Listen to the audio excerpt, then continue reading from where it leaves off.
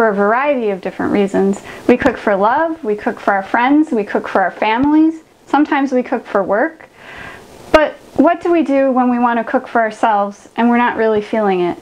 What do we do when we're feeling aburrido? Well, we make burritos.